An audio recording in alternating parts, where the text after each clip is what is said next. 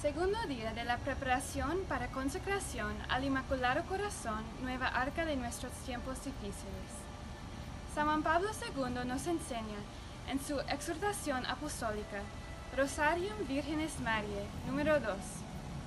El rosario me ha acompañado en los momentos de alegría y en los de tribulación. A él he confiado tantas preocupaciones y en él siempre he encontrado consuelo.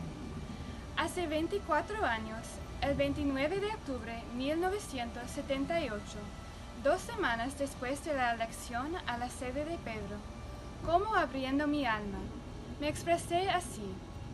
El rosario es mi oración predilecta, plegaria maravillosa, maravillosa en su sencillez y en su profundidad.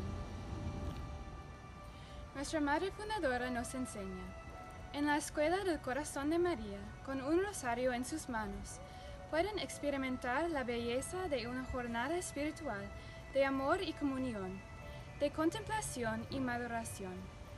Cada vez que vas al hogar y escuela del corazón de María, a través del rosario, contemplas con los misterios que ella tan cuidadosamente guardó en su corazón y que San José tan diligentemente custodió.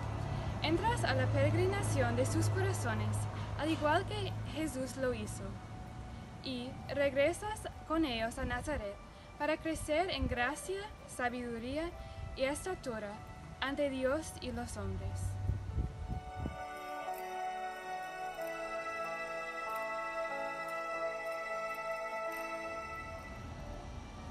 Second day of preparation for consecration to the Immaculate Heart, new ark of our difficult times. St. John Paul II teaches us in his apostolic exhortation, Rosarium Virgenis Mariae, number 2. The Rosary has accompanied me in moments of joy and in moments of difficulty. To it I have entrusted any number of concerns. In it I have always found comfort. 24 years ago, on October 29, 1978, scarcely two weeks after my election to the See of Peter, I frankly admitted, the Rosary is my favorite prayer, a marvelous prayer, marvelous in its simplicity and in its depth.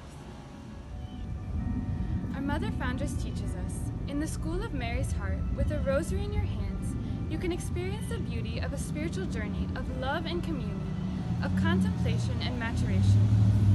Every time you go to the house of Mary's heart through the rosary, you gaze at the mysteries that she so carefully kept in her heart, and that St. Joseph so diligently guarded. You enter into a pilgrimage of their hearts just as Jesus did, and you go back with them to Nazareth to grow in grace, wisdom, and stature before God and man.